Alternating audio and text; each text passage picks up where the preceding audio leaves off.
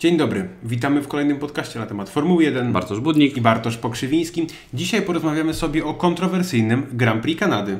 Kontrowersyjnym to na pewno. Myślę, że to będzie taki wyścig, o którym będziemy do końca sezonu pewnie jeszcze słyszeli. Albo i jeszcze dłużej. Albo i jeszcze dłużej. E, cieszę się, że wreszcie w sezonie stało się coś, o czym będziemy mogli długo dyskutować, bo to nie był kolejny wyścig, gdzie dominowały Mercedesy, tak. tylko mimo tego, że stało się jak się stało, to wreszcie coś się stało, tak? Sezon nabrał kolorytu. Super, super weekend Ferrari. Naprawdę. I to szpilka do Ciebie. To jest ten moment, kiedy Ferrari Bardzo się cieszę, bardzo się cieszę. I zacznijmy, zacznijmy od kwalifikacji, bo tam Ferrari pokazał, tak. w treningach też, ale chodzi mi o te kwalifikacje, o zupełnie niespodziewane podposition Sebastiana. To był rzut na taśmę i Ostatnie okrążenie, tak, już po dobrze, I dobrze się stało. Tak, no, bardzo, weekend Sebastiana w ogóle bardzo dobry. E, te kwalifikacje rewelacyjne, ten, ten ostatni czas naprawdę bardzo na plus dla, dla Seba. E, w sumie takie kwalifikacje też trochę dramatyczne, bo Q2 i, i przygoda, nazwijmy to, to przygodą Magnusena. Na szczęście nic się nikomu nie stało. Tak, na szczęście nic się Poza Maxem poza i Grożanem tak, na przykład. Poza Maxem i Grożanem, gdzie Grożan prawdopodobnie byłby w Q2. E, no Max na pewno byłby, że w Q3, e, Max na pewno byłby w, w, w Q3. No ale stało się jak się stało. Magnusy stracił kontrolę. Za szybko wjechał po prostu tam w, ten, w, ten, w tą szykanę. Za, za dużo. Ściana mistrzów. Za dużo chciał, że tak powiem, tam, tam osiągnąć. No i wyszło jak wyszło. Skończyło się tak, że Sebastian ruszał do wyścigu z pierwszego rzędu obok Louisa Hamiltona. Był od niego szybszy o dwie dziesiąte. Dwie dziesiąte. E, trzeci był pan Leclerc, który stracił sporo do Seba. To było jakieś 70 prawie? Tak, ale Leclerc mówił o tym, że nie mógł znaleźć tempa. W Q1 miał, jakby złapał rytma, a potem, potem miał z tym duży problem. No i... E, I niewiele tam Ricardo do niego stracił, tak. chyba jest jedna dziesiąta. Tak? Mniej, mniej niż dwie dziesiąte, tam jakoś tak 150 tysięcznych. Natomiast właśnie Daniel Ricardo, czwarte pole startowe, ale się cieszyłem. To był największy wygranek myślę tych kwalifikacji, największe zaskoczenie to na pewno i chyba najlepszy występ w kwalifikacjach ogólnie. Patrząc na to, że Hulkenberg był siódmy, tak? Tak. Hulkenberg był siódmy, Daniel naprawdę wyciągnął z tego bolidu tyle, ile się dało. Rewelacyjny występ, więcej takich występów od Daniela po prostu. Na to liczyliśmy przed tym sezonem. Bardzo dużo Właśnie w tym miejscu spodziewaliśmy się, że będzie Renault, że będzie mogło walczyć tak.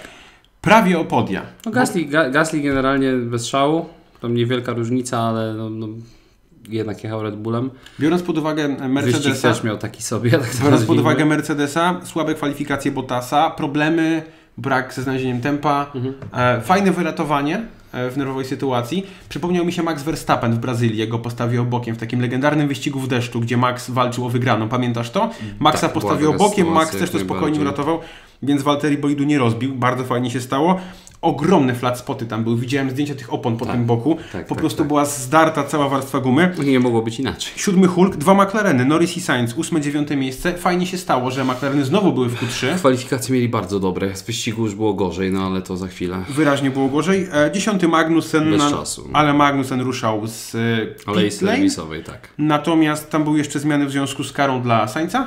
Tak, trzy miejsca dla Sainza zablokowania Albona. I, I w sumie dzięki trzy, temu... Trzy, a nie pięć? Trzy. Trzy. Trzy. Potwierdzam, bo nie byłem pewien. Stało się tak, jak się stało, że Max Verstappen ruszał do wyścigu z dziewiątej pozycji. Tak. Dzięki temu. Dzięki temu, że Magnussen wypadł i Sainz spadł niżej, no to Max wybierając sobie opony ruszał z dziewiątego pola. Więc... I powiem Tobie, że przed tym wyścigiem miałem ogromne oczekiwania e, wobec tego, że Sebastian rusza z pole position, że Lewis Hamilton na pewno będzie chciał z nim walczyć, że Ferrari ma bardzo, bardzo fajne położenie, żeby być może w tym przypadku próbować strategicznie rozwiązać sytuację z Mercedesem, -hmm. jeżeli mogę tak powiedzieć. I Daniel.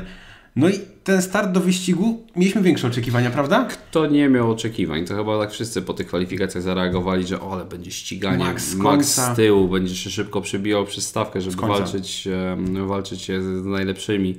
Bottas daleko też powinien się przebijać. E, wydawało się, że Renault będą szybko połknięte, a tak naprawdę nie stało się za dużo. Hulkenberg wyprzedził Bottasa na starcie, zanotowałem, tak. więc Renault nie zostało połknięte bardzo szybko. Już pierwsze Wręcz emocje... odwrotnie, bardzo dobrze się Renault spisywało w sumie. Pierwsze emocje na starcie mieliśmy jeszcze przed startem, jak Lewis Hamilton... E... Mówił, że jest coś nie tak z jego tak. samochodem. Tak, tak. Tam e, wydawało się, że mogą być jakieś problemy. Tam nawet chyba pan Andrzej Borowczyk e, też mówił, że mm, tam chyba jest jakiś problem, że może Lewis jeszcze nie wyjedzie nawet, no ale no, wszystko się potoczyło na tyle dobrze, że się okazało, że dostał od Bona komunikat taki, że samochodem jest wszystko ok.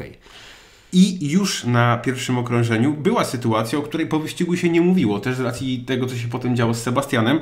Mam na myśli sytuację, w której przez moment zobaczyliśmy Romana Grożana, który wypycha ze swojej kabiny, że mogę tak powiedzieć, jakieś tak, części odłamki polityki. Tak, to... O tym się nie mówiło, to fajnie wyglądało. Fantastycznie to wyglądało. Że mu się nic nie stało. Tak, ale to było niebezpieczne, co by nie mówić. Tam to skrzydło Albona e, wyfrunęło tak. w powietrze i boczna chyba sekcja tego skrzydła trafiła do kokpitu Romana, gdzie on to po prostu ręką wyrzucał. I ścinał zakręt, jednocześnie wyjeżdżając na tor. Tak, no bo tam ta cała kanapka, która się stała, no i unikanie e, tego tak zwanego debris angielskiego, tak. no to zmusiło Romana do, do, do naprawdę ciężkiego wyjazdu tam przez... Też on tam w nikogo nie wjechał, bo on tak. lubi takie sytuacje wykorzystywać w taki sposób, żeby sobie Dzięki temu wyścig. Williamsy dużo zyskały, bo tam 15-16 tak. miejsce bodajże było tak. po, po pierwszych dwóch zakrętach. E, w tej kanapce e, pierwotnie myśleliśmy, że być może Force Racing Point e, to był chyba Stroll. Mogę się mylić. Ciężko który wciskał się po wewnętrznej, że to była jego wina. Wydaje mi się, że to bardziej była wina Alfa Romeo, która była po zewnętrznej. Ja tak jak zobaczę z Pierwszy zakręt. czasu, no to nie, no to jest Racing Incident. Kanapka. Taki typowy, kanapka. Singapurska kanapka, to jest takie określenie, które mi się bardzo podoba. Stało się co się stało, ale tutaj nikogo bym zdecydowanie za to nie karał, bo po prostu się przydarzyło. A jeszcze, jak już powiedziałem o Racing Point, dwa słowa, wracając do kwalifikacji. Perez był 16 w kwalifikacjach, Stroll był 18 w kwalifikacjach. Mówię to dlatego, bo Stroll to był jego domowy wyścig. Mhm. Racing Point nie miało tempa. Stroll miał problemy z chyba hydrauliką w tym silniku Mercedesa. Tak, tam... Miały być nowe silniki, w końcu się okazało, że jednak nie było tych nowych silników. No właśnie tam dziwna była ta sytuacja tak. cała. To nie, nie do końca wiem, bo Mercedes sam pisał, że wszyscy mają dostać nowe jednostki napędowe. Później się z tego wycofano. Tak, później się z tego wycofano. Mm, taka, taka dosyć dziwna i niezrozumiała trochę dla mnie ta, ta sytuacja. E, Hamilton też miał podobny problem z silnikiem, bo też tak, warto wspomnieć hydraulika. o tym, że hydraulika, wyciek z hydrauliki przed, e, przed startem wyścigu i gdzie normalnie podobno 6 godzin powinna zająć taka naprawa, to mechanicy Mercedesa zrobili to 2,5. Także rewelacyjna, rewelacyjna robota też w garażu wykonana przez, przez Mercedesa. Pierwsze okrążenie bez większych przygód poza tym pierwszym zakrętem. No i później taką wielką sytuacją, która się wydarzyła, z tego co ja pamiętam, to była sytuacja z McLarenem. To był McLaren pana Norrisa. Tak. Y, Przeska tak, przeskakuje tak naprawdę, trochę wydarzeń, ale to było dziewiąte tak, okrążenie. Tak naprawdę nie wiem, co się stało. Jakby... Prawe tylne koło. Tak, tam wyglądało jakby się połamało zawieszenie, ale za bardzo nie miało do tego okazji. Hamulce się zapaliły? Yy, tak, tak by to wyglądało, bo tam ogień się pojawił. Może po prostu hamulce na tyle tam duża temperatura się wydzieliła. Wiadomo, że Kanada to jest najgorszy, jeden z najgorszych torów dla hamulców w całym kalendarzu te dohamowania tam są jednak bardzo mocne. Wysokie prędkości. E, wysokie prędkości, tak, mocne dohamowania. Może tam coś się po prostu zadziało, może faktycznie hamulce nie wytrzymały i, i przez to mieliśmy taką dość dziwną awarię, bo szczerze powiedziawszy, jak go zobaczyliśmy, no to pierwsze co powiedzieliśmy do ściana mistrzów, mistrzów że, że uderzył po prostu. Tylko trochę dziwne to było, że tak daleko by dojechał. Tak, co więcej, e, ten pożar tak szybko i koło nie zostało urwane, tylko uszkodzone. Tak, tylko ono jakoś tak dziwnie zwisało. Tak, no i teraz sytuacja, nad którą ubolewaliśmy, oglądając wyścig, wydaje mi się, że mogę tak powiedzieć, straszny chaos z żółtymi flagami. Tak, w pierwszym sektorze były podwójne działy. żółte flagi tak. i to było zaraz po tym, jak w boksach pojawił się Piergasti, Daniel Ricardo i Robert Kubica. I, Robert Kubica. Tak. I to była sytuacja, w której podejrzewaliśmy, to jest przynajmniej wirtualna neutralizacja. Znaczy, ja, ty, ty tak stawiałeś. Tak stawiałem. Ja ci powiedziałem, że pewnie nie, bo to na tyle bezpieczne miejsce było, ok, to było przy wyjeździe z pitlane, gdzie już kierowcy mogą jechać normalną prędkością. Ale poza torem ciągle, tak, poza linią wyjazdu, Dokładnie, prawda? więc y, i tam ten samochód został po prostu. No i właśnie to było tak, że były podwójne żółte flagi, potem one zniknęły i po kolejnym okrążeniu znowu się pojawiły te żółte flagi, tak. ale bolid nie został ściągnięty. Co więcej, podczas wyścigu ludzie podchodzili do tego bolidu i tam coś w nim grzebali. No, tak, sytuacja trochę tak, ten backup trochę tak kulał mi się może, wydaje. Może wyciągali coś na handel, to nigdy nie wiadomo. E, natomiast tak, no tam coś, co, coś tam chyba nie grało do końca, nie wiedział chyba, nie, nie wiedzieli dokładnie stewardzi, co chcą chyba zrobić z tym, z tym bolidem.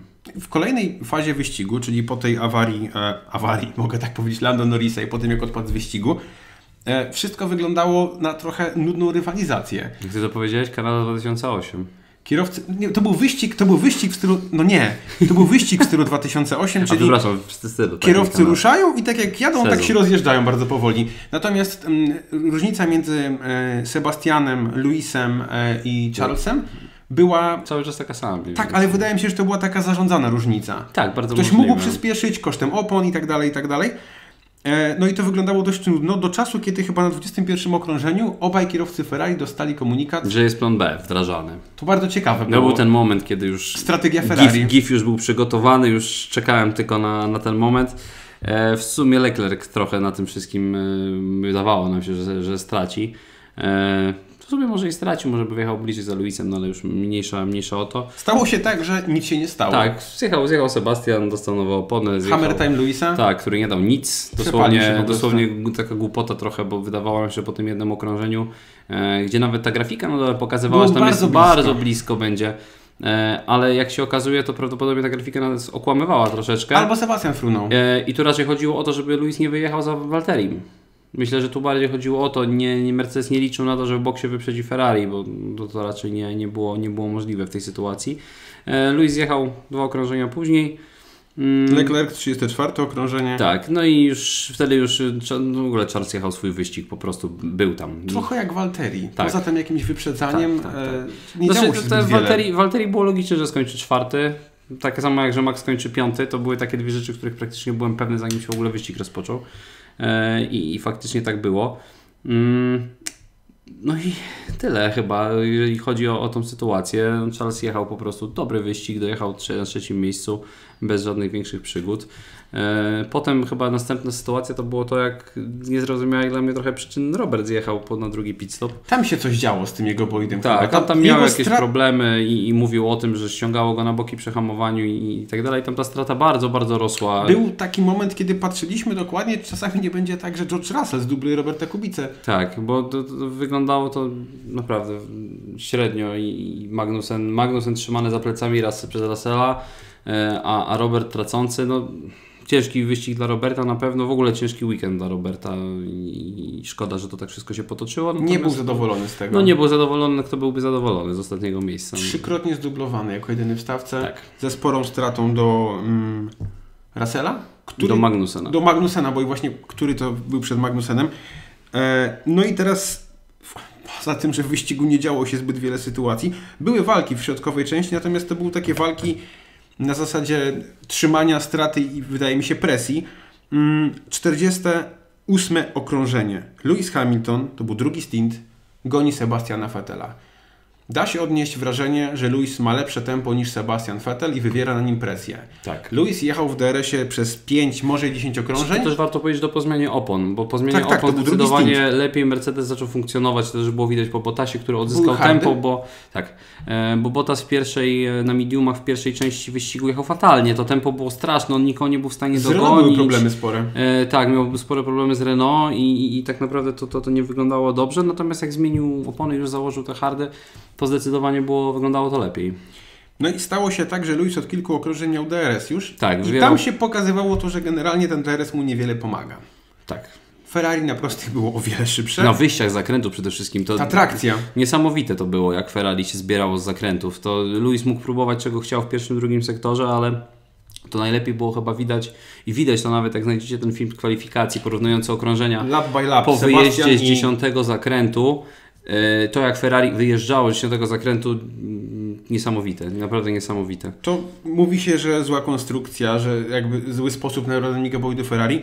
Niemniej jednak w Kanadzie to auto się sprawdzało. To tak. był lepszy bolid. Tak, bardzo, bardzo dobrze to wyglądało. Ok, może i Mercedes miał troszeczkę lepsze tempo wyścigowe. Na drugiej mieszance, Natomiast na, na co, to, co to im dało? No, de facto nic. No właśnie, Luis gonił Sebastiana i okazywało się, że generalnie DRS wykorzystuje tylko po to, żeby nie, nie stracić, żeby się tak. trzymać poniżej sekundy i niewiele więcej może zrobić, bo nawet jak leży na pół sekundy... Sam, sam Luis powiedział, że po prostu jemu zostało tylko czekać na błąd Sebastiana, no bo nie był w stanie go wyprzedzić na torze i to doskonale, doskonale naprawdę było widać, szczególnie, że Sebastian co jakiś czas łapał też DRS zdublowanych kierowców. No i się doczekał i to jest ten fragment, w którym jeszcze nie chcę dyskutować o tym, czy dobrze się stało, czy źle się stało, natomiast Sebastian Vettel na zakręcie numer 3-4, to jest tak, tak 3-4, mhm. e, przestrzelił tak, popełnił, popełnił błąd, uciekł mu tył, mucha mi tutaj lata, proszę przejechał, Państwa. Przejechał przez trawę, e, wrócił na tor, e, zajeżdżając drogę Lewisowi Hamiltonowi, który to uratował się i nic się nikomu nie stało. Też... Sędziowie po tej sytuacji uznali po kilku okrążeniach, że Sebastianowi za to należy się kara 5 sekund. Tu jeszcze jedna rzecz, strasznie długo była podejmowana ta decyzja. Biorąc pod uwagę, tak. że to jest walka o zwycięstwo w wyścigu, to tutaj zdecydowanie już za chwilę porozmawiamy o, o samej decyzji.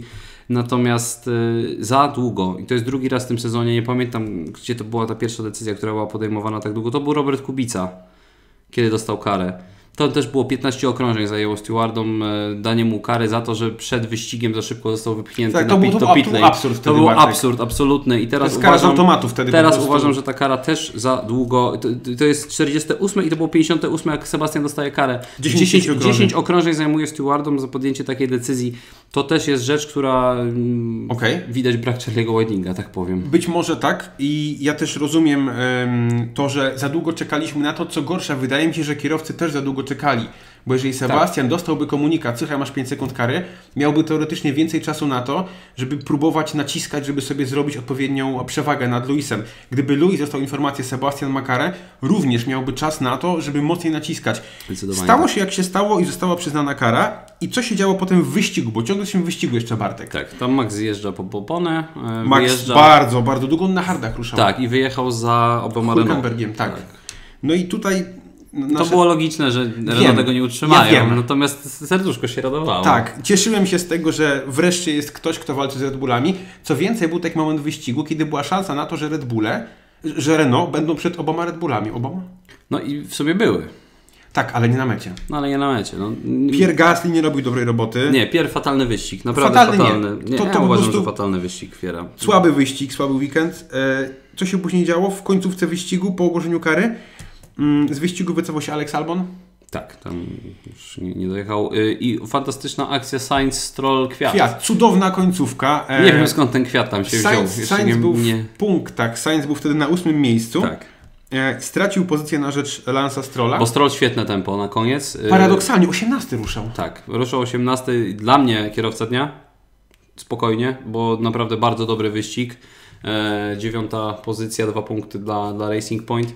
Fajnie to, fajnie to wyglądało z jego strony, bardzo dobry. Jak, jak Stroll przez nas, w tym, jak, na- jak na razie no parę podcastów temu Ale mówiliśmy o zasłużył na to, w kwalifikacjach nie było dobrze, miał problemy, ale Tak, jak, jak bardzo słaby jest w tym sezonie, no to dzisiaj naprawdę czapki z głów, brawo, brawo Super. Lens, y, świetny wyścig u siebie przede wszystkim. podwójne szczęście dla niego. Widziałeś, Tak. jaki był szczęśliwy na tych Był wywiadach? szczęśliwy bardzo. Super. Fajnie, fajnie, ja się bardzo cieszę z, tego, z jego wyniku. Dobry, dobry wyścig. Czyli może trzeba się trochę w pierś uderzyć. Tak, ale e, po raz kolejny jeszcze zwrócę uwagę na cichego bohatera, Daniel Kwiat.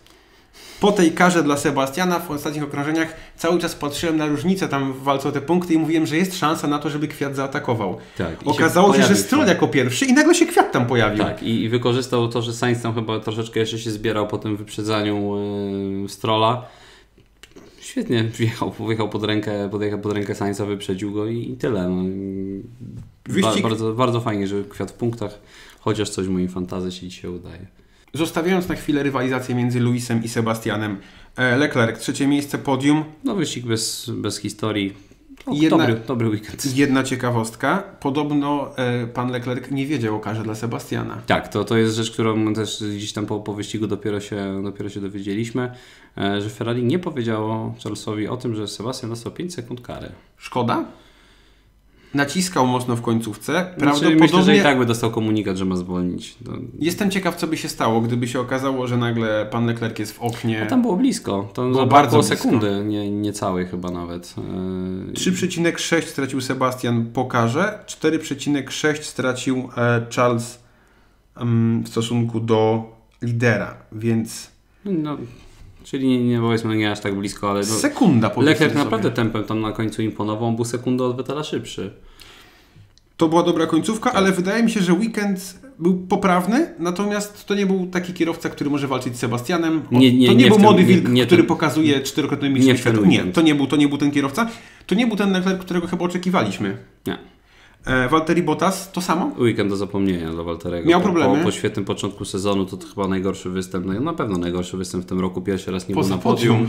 Fenomenalne. E, więc no, złe kwalifikacje, pogubił się w tym Q3. Mm, wyścig bez historii zupełnie. Mam nadzieję, że się z tego otrząśnie. Max Verstappen, piąta taki pozycja. wyścig bez historii Liczyłem na troszkę. trochę więcej, niemniej jednak, no biorąc pod uwagę to, że Red Bull nie miał jakiegoś takiego super tempa w ten weekend, to jest 100% tego, czego od niego oczekiwaliśmy, Tak, to jest- czyli miejsce za dwoma czołowymi zespołami. Maksimum, co mógł z tego wycisnąć Fajnie, i spoko. faktycznie to zrobił. Jakieś 6 sekund straty do Walterego Bottasa, szósty Daniel Ricardo, siódmy Nico Hulkenberg. Świetnie. W Świetnie. Końcu, w końcu Renault, weekend wreszcie Renault. jeździcie na tym torze. Hulk przez moment naciskał Daniela. Tam było bardzo, bardzo blisko między tak. nimi. Tam był DRS-y już. Tak.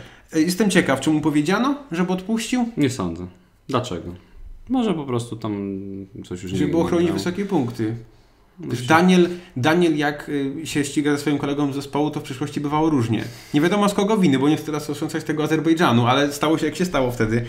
Ja, ósmy, wtedy wina była dość, dość prosta. Ósmy, ósmy, nie gadajmy o winach teraz Nazywała jeszcze. się Max Verstappen. Ósmy Pierre Gasly. E, słabo. Bardzo słabo, naprawdę. Fatalny wyścig Piera. Nie mów, że fatalny, po fatalny prostu był wyścig słaby. Piera, przyjechał za dwoma Renault, jego kolega dojeżdża piąty, startując za nim. Bardzo zły wyścig Piera Gasly'ego. Dziewiąty Lance Stroll, o tym już mówiliśmy, super. Dziesiąty Daniel Kwiat, fajnie, ja się cieszę tak. zawsze jak Daniel punktuje. Jak to Rosso punktuje się cieszę. Jedenasty Carlos Sainz McLaren, szkoda strasznie, punktów McLarena. Strasznie słaby weekend do McLarena. Tak Oba bolidy w Q3. Tak i kończy się to tak, że no, no Norris nie ze swojej winy, fajna walka tam z Maxem na początku e, dobrze się bronił przed atakami, tak. przed atakami Maxa, tam nawet go wyprzedził na prostej, gdzie byliśmy dość mocno tym zszokowani.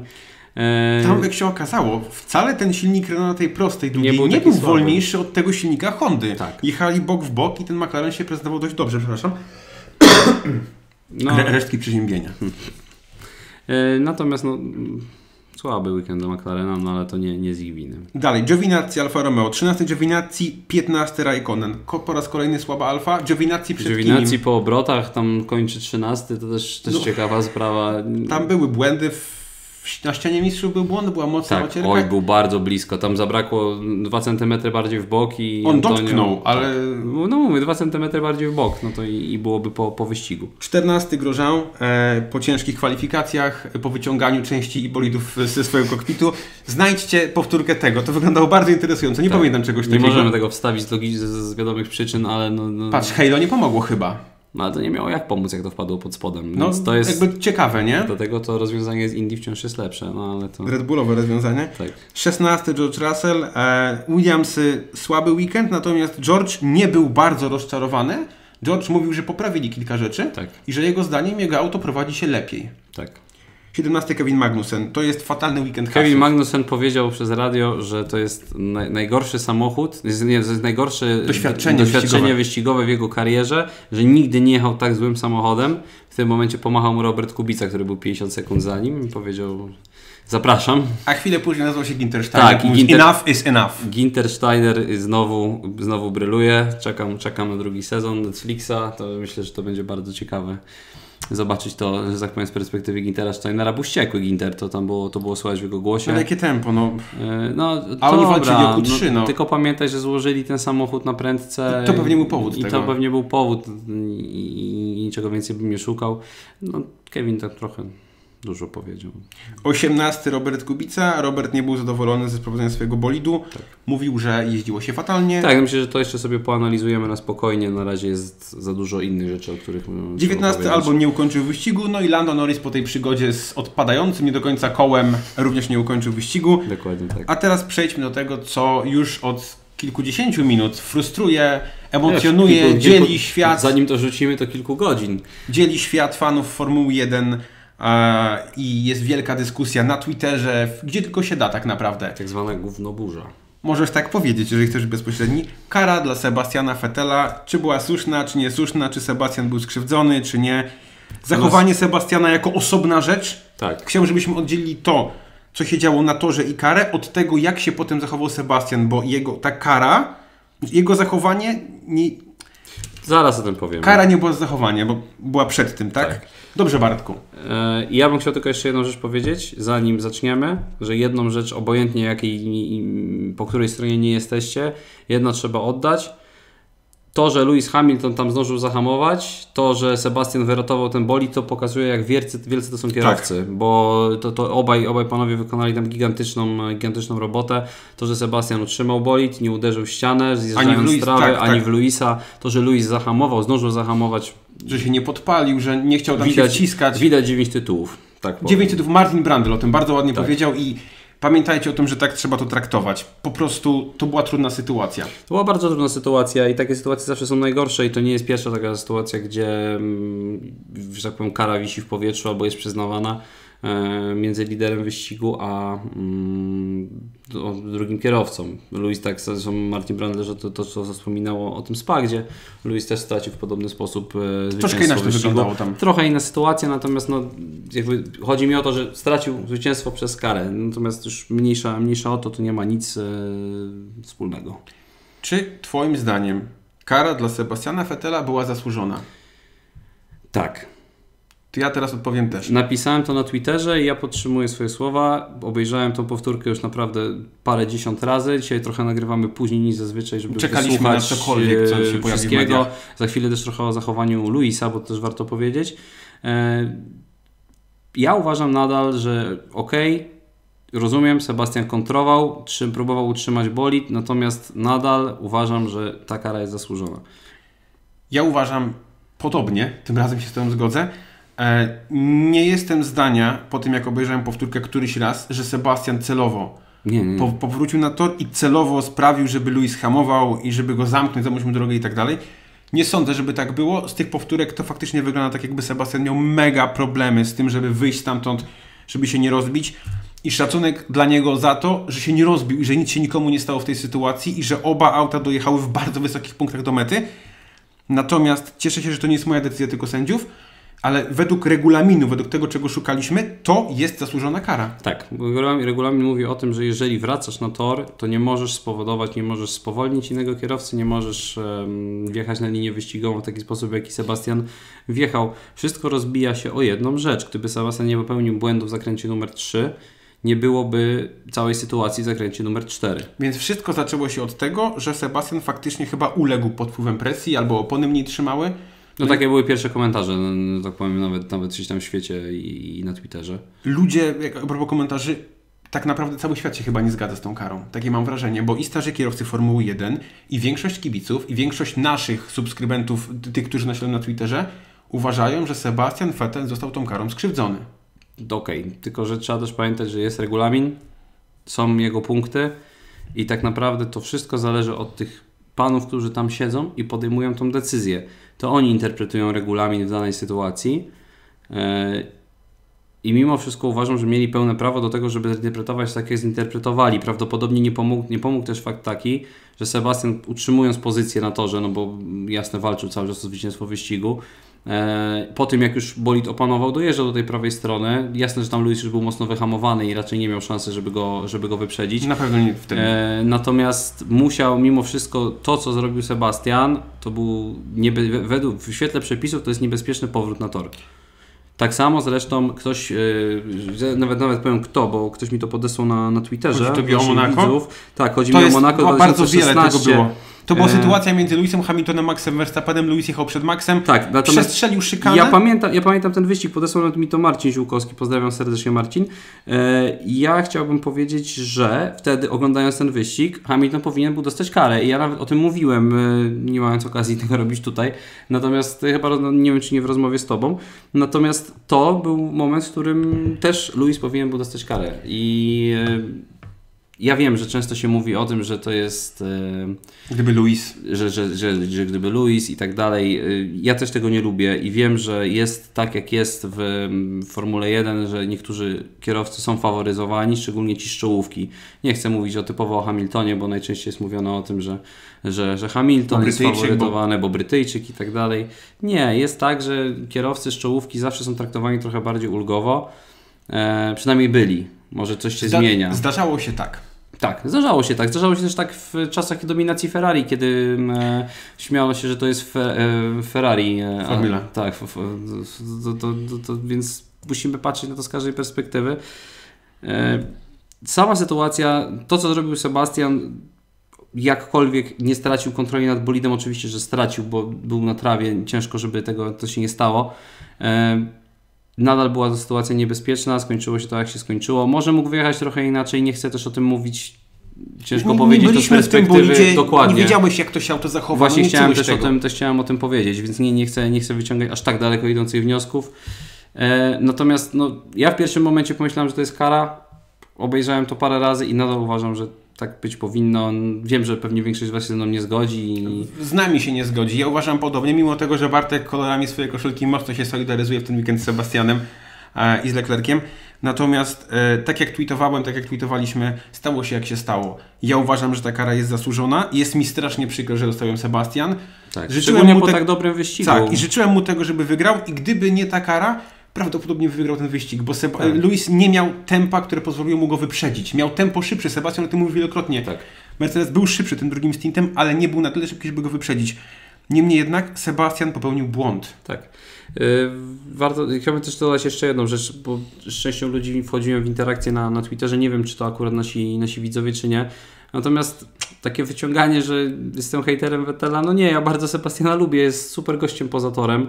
Poza torem, bo na to, że czasami się gotuje na, za bardzo. Na to, że czasami za bardzo gotuje. Tutaj też się za bardzo trochę zagotował, Zaraz. Bo, bo sytuacja, gdzie on już dostaje karę i zamiast myśleć o tym, że mam 5 sekund kary, powinienem jechać jak najszybciej, żeby uciec, E, Sebastian był tak pochłonięty rozmową przez radio, że stracił chyba tam dosłownie pół Nagle pół się okazało, że z 3 sekund straty Luisa się Zrobiło się 1,7 chyba, więc y, tam zdecydowanie Sebastian był, był wściekły i, i to było widać.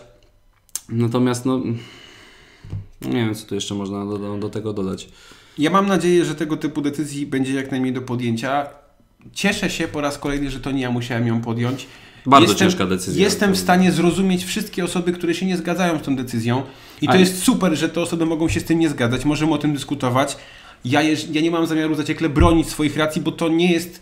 To nie ja to interpretowałem, to nie ja podjąłem tę decyzję. Niemniej jednak, niestety dla Sebastiana, a chciałem, żeby ten wyścig wygrał, żeby cokolwiek się zmieniło w tym sezonie, stało się jak się stało. Fajnie, że. No właśnie, chciałem powiedzieć, fajnie, że Sebastian się dobrze zachował. Zachował się dobrze na sam koniec. poczekaj, jednak... poczekaj jeszcze, jeszcze z tym. E, chciałem jeszcze tylko powiedzieć tak, bo ktoś tam pisał o ewentualnym odwołaniu się od kary. Nie może się Ferrari odwołać od tej kary z prostej bardzo przyczyny. To jest kara, którą mógł Sebastian wykonać w trakcie wyścigu. Jeżeli kara jest taka możliwość, to nie mogą oni, nie, nie może być ta kara cofnięta. Z tego co przynajmniej mi wiadomo. Tam jest jeszcze jakiś sąd FIA, ale raczej nie sądzę, żeby to cokolwiek im dało e, i raczej tak zostanie jak, jak jest. Życzyłbym jak najmniej tego typu decyzji. Mm, po raz setny powtórzę. Możecie się nie zgadzać z naszym zdaniem, ze zdaniem sędziów. Możemy o tym dyskutować. Tak, tego prosiłbym kulturalnie. Tak.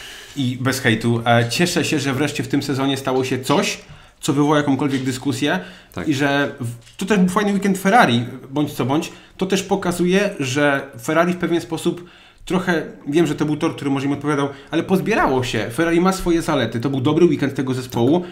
To podium mogło wyglądać inaczej, i to chyba tyle na temat decyzji? Tak. A teraz o zachowaniu Sebastiana po tym wszystkim. Panowie Hamilton i Vettel mają jedną wspólną cechę. To jest kwestia tego, że jeżeli coś nie idzie po ich myśli, szczególnie jeżeli to dotyczy mm, zwycięstwa, decyzji podjętych na torze przez stewardów czy kogokolwiek, to nie radzą sobie oni zbyt dobrze z takim przegrywaniem i, i Luis też to parokrotnie udowadniał i dzisiaj nawet też troszeczkę się zachował w dziwny sposób. Z konferencją? tak, na, natomiast Sebastian... Sebastian się zatrzymał, wyszedł z samochodu, nie pojechał... Nie tam, gdzie powinien. Tak, postanął tam, gdzie stają pozostałe bolidy, nie, nie, nie pierwszej trójki. Wysiadł z samochodu i poszedł prosto do... E, do garażu, do motorhomu. Do, do, tak, do motorhomu Ferrari. Mm, I tam pobiegł po niego jego menedżer, z tego co tam było mówione przez, przez Lada Krawica, żeby go szybko stamtąd wyciągnąć. Sebastian nie chciał w ogóle wyjść na podium. Nie wiadomo. Być może chciał uniknąć tylko i wyłącznie wywiadów e, zaraz po. Nie, nie wydaje mi się. Myślę, że plan Sebastiana był taki, że nie chciał po prostu się w ogóle tam pojawić. Natomiast chyba zdawał sobie sprawę z tego, że jeżeli by się tam nie pojawił, to prawdopodobnie tego typu zachowanie mogłoby być ukarane troszkę szerzej. No, nie wiem, jakby się... No, nie miała być forma takiej... protestu też trochę, tak, tak? nie było takiej sytuacji, więc nie wiem, jak Nie się pamiętam takiej sytuacji. Może wy pamiętacie. Tak, ja, ja w każdym razie nie pamiętam takiej sytuacji, więc nie wiem, jakby to się miało skończyć nawet dla Sebastiana czy dla, dla Ferrari. E, natomiast pojawił się tam Sebastian, Przeszedł przez garaż Mercedesa. Było najbliżej, więc się nie dziwię. O, po prostu operator, e... który szedł za nim z kamerą, tak fenomenalnie, pewnie niechcący operował tym spojrzeniem, jak idzie za Sebastianem i zatrzymał się na sekundę przy logo Mercedesa. Dla mnie to było bardzo wymowne. I tam kawałek dalej był znak Luisa. Luis. Prawdopodobnie to było po prostu niechcący, niemniej jednak to, to było bardzo wymowne. Nie, myślę, że ten chwila pauzy to, to, to, było, to była pełna premedytacja. E, natomiast jedna rzecz, rozumiem, emocje, y, frustracja i, i, i no i pewnie, pewnie wszystko, co, co najgorsze w Sebastiana głowie się wtedy pojawiało. To jest zrozumiałe, tak? Natomiast nie poszedł on prosto na podium, tylko poszedł i zamienił e, znaki, te pachołki. Tak, te pachołki z jedynką i z dwójką. Przepraszam, no to jest dla mnie słabe. To jest naprawdę dla mnie Inaczej. słabe i to jest zachowanie, które uważam, że powinno być jakoś ukarane, chociaż jakąś karą finansową. Bo... Nie wiem, czy karą finansową. Niemniej jednak, jeżeli chodzi o samo parkowanie auta w innym miejscu, samo to, że unika się wywiadu na gorąco, tak. jestem w stanie zrozumieć to, że ostatnią rzeczą, którą chce w tej chwili kierowca jest pogadać z Martinem Brandl o tym, co się stało, bo jest za bardzo wkurzony, mówiąc dosłownie. Ale żeby potem e, w taki, przepraszam, trochę bezczelny sposób podejść i przestawić te pola startowe i to nie w takiej formie, że Sebastian mógł, nie wiem, złapać tą jedynkę, stanąć i się do niej uśmiechnąć, ją odstawić, tylko on zamienił e, pozycję swoją z pozycją Luisa. Kurczę, to nie było fajne, bo to było podkopanie trochę w pewien sposób autorytetu Luisa. Uważam, że nie powinien tak się zachować. Trochę sobie sam e, Sebastian przeczył, bo powiedział, że on do Luisa żadnych pretensji nie ma, natomiast takie przedstawienie tych pachołków ja rozumiem, to miała być forma protestu i, i tak okay, dalej, ale to, to trochę jest tak, jakby też tego Luisa e, niechcący, niechcący uderzał. Mm, nie, nie było złej krwi, przynajmniej nie było tego słychać i, i widać pomiędzy Luisem a, a Sebastianem. Tak, Sebastian Trudna sam sytuacja. powiedział, że nie, nie, rozumie, dlaczego Luis jest wygwizdywany. Bo to, to, to było dobre. Jego, to tak powinno to nie jest, tak, to, to, nie jest, to nie jest e, decyzja Luisa, to nie jest wina Luisa w żaden sposób, to decyzję podjęli e, stewardzi. Nie wiem, no dla mnie, to, dla mnie naprawdę było słabe. Jeżeli facet jest czterokrotnym mistrzem świata, jeździ w czubie stawki od już naprawdę wielu, wielu lat, e, no to powinien mieć mimo wszystko trochę tą głowę chłodniejszą. Właśnie to, jakby to uderzyło we mnie najbardziej, że właśnie tak jak w Azerbejdżanie, pamiętasz jak Sebastian wjechał w Luisa i potem się z nim zrównał i go uderzył e, i tam był wściekły na torze, rozumiem. Natomiast e, Później się z tego tłumaczył w wywiadach, ale nie zachował się w taki sposób. Luis mówił o tym, że Sebastiana wtedy użył argumentu, że na nich patrzą dzieciaki i że oni się uczą zachowań tak. E, od kierowców Formuły 1, bo kto lepiej prowadzi auto, kto lepiej się odnajduje w świecie prowadzenia czegokolwiek niż kierowcy Formuły 1.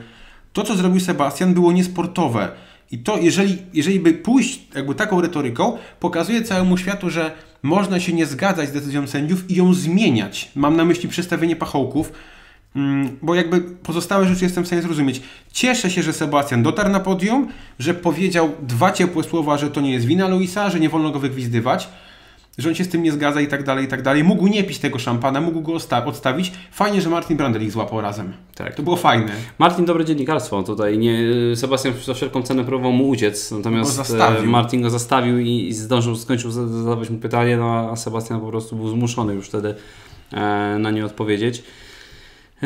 Ja rozumiem, jasne, ja, ja też nie, najlepiej znoszę porażki, jeżeli już czymś biorę, biorę udział. Kiedyś ścigaliśmy się razem na go-kartach. Chciałeś zajechał, zabić, zajechałem mu drogę. inna sprawa. Stało się jak się stało, to był racing incident i ten człowiek wysiadł z go-karta i zaczął od tego, że chciał mnie uderzyć. To nie było, to nie było tak, jak on to przedstawia. Kiedyś opowiemy tą historię na pewno. Może przy okazji jakiegoś właśnie tego live'a życzonego, który jest, że tak powiem, w, w drodze. To taka anegdotka, żeby trochę zależeć tą atmosferę. Tak, ale mnie zbiłeś teraz. Zupełnie, zupełnie mi uciekło, co chciałem, co chciałem Martin powiedzieć. Brandl, wywiad. Tak, yy, ja rozumiem emocje Sebastiana i tak dalej, natomiast pewnych rzeczy się nie robi. Uważam, że...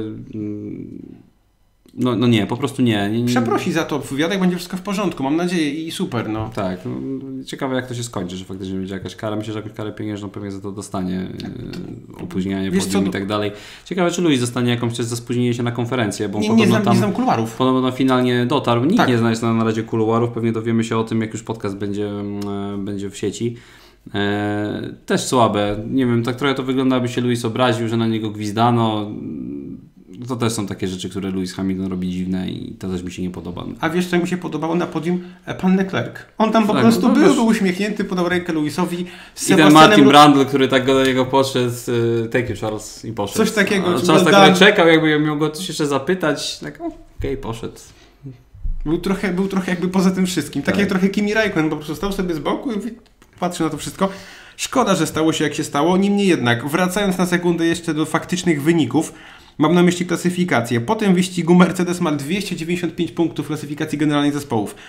Ferrari ma tych punktów 172. Mhm. To jest przewaga, która niestety, ale nie maleje, niestety z uwagi na widowisko. W, klasyfikacji, w klasyfikacji generalnej kierowców Lewis Hamilton 162 punkty, Valtteri Bottas 133 punkty, Sebastian Vettel punktów 100, 12 punktów przed Maxem Verstappenem, powiększył tą przewagę, to, to miejsce, które odzyskał tak. od Maxa. Leclerc 72 punkty, coraz bliżej Maxa, szósty jest obecnie Pierre Gasly, ale wróćmy jeszcze na sekundę do zespołów, bo tutaj mamy na piątym miejscu Renault 28 punktów. No, Ta ich pozycja także jest spowodowana tym, że e, dobrze zapunktowali ten weekend. I do McLarena się bardzo zbliżyli. Tak? Dwa punkty do McLarena są tylko obecnie. Na szóstym miejscu jest Racing Point przed Toro Rosso, Hasem, Alfa Romeo i Williamsem, a pan Giovinazzi jest jedynym kierowcą poza Williamsem, który jeszcze punktu nie zdobył. Myślę, że już macha powoli, tak się żegna? Nie wiem, ale jakby nie zachowuje się co weekend mówimy, że jest nim słabo i co weekend potwierdza to, że faktycznie jest nim słabo. Tak, ja przeciwnie się do pana, pana, pana Lensa, który dzisiaj pokazał się z bardzo dobrej strony. Giovinazzi nie do końca, tak bym powiedział, szczególnie kręcąc bączki. Zauważyliśmy, ja zauważyłem jak zaczęliśmy nagrywać, że pod naszym poprzednim filmem e, o zapowiedzi Grand Prix Kanady pojawiały się komentarze odnośnie sytuacji związanej z tym wyścigiem, z Sebastianem, z Luisem. Zachęcamy do dyskusji w komentarzach. Tak, było na tyle dzisiaj dużo do powiedzenia, że dlatego nie ma Waszych komentarzy. Przepraszamy Was serdecznie. E, natomiast tak, zapraszamy Was tutaj. Na pewno powiecie nam dość dużo na temat sytuacji e, z wyścigu tej najbardziej Możecie się z nami nie zgadzać, e, tylko prosimy e, bez inwektyw, tak. infektyw tak. E, i bez hejtu. E, możecie mieć inne zdanie. Super, jeżeli je macie. Zapraszam do dyskusji w komentarzach. Wiem, że pewnie część osób będzie przypominała ciągle sytuację z Monaco, z Lewisem Hamiltonem. Tak, ale ja tak jak mówię, tam też powinna być kara ja nie mam, nie mam tylko wątpliwości. Naprawdę nie interesuje mnie, kto siedzi w tym bolidzie. I mam nadzieję, że sędziowie tak samo tę decyzję podjęli, bo, bo powinno tak, tak, być. Powinno być tak, że regulamin jest równy dla wszystkich i, i w tej sytuacji, jeżeli byłoby odwrotnie, to również Lewis Hamilton tą karę powinien był dostać. Byłby dostać, przepraszam. A tymczasem. Dziękujemy Wam serdecznie. To jest moja kwestia. Może być, mhm. może być. Dziękuję Wam bardzo, że jesteście z nami. Zachęcamy do tego, żeby subskrybować nasz kanał i jeżeli ten film Wam się podobał, dajcie łapkę w górę. Jeżeli nasze zdanie w tym filmie Wam się nie podobało, to nie znaczy, że ten film był zły. zły. To jest nasze zdanie. E, Ale to róbcie co uważacie. A znaleźć nas możecie na... Y, również na Spotify, możecie nas sobie znaleźć na, na Podbean, iTunes o nas zapomniało. E, możecie znaleźć też linki do naszych podcastów i pozdrawiamy tych, którzy do nas trafili z f1fanclub.pl. Tak. E, Facebook i Twitter. Facebook i Twitter oczywiście również. Zapraszamy też do dyskusji może na Twitterze. Mm. No to wszystko. O Grand Prix Kanady pewnie wrócimy do tego wyścigu jeszcze na pewno w, w najbliższym tygodniu. tygodniu. Troszkę Williamsie, może więcej porozmawiamy o tym, Może być też ciężko, od razu mówię z podcastem w przyszłym tygodniu, sprawy osobiste. E, postaramy się, żeby faktycznie jeszcze jakiś podcast był, bo jeszcze dużo dyskusji na ten temat będzie i pewnie parę informacji wypłynie. E, więc do zobaczenia. Dziękujemy Wam bardzo. Cześć. Cześć.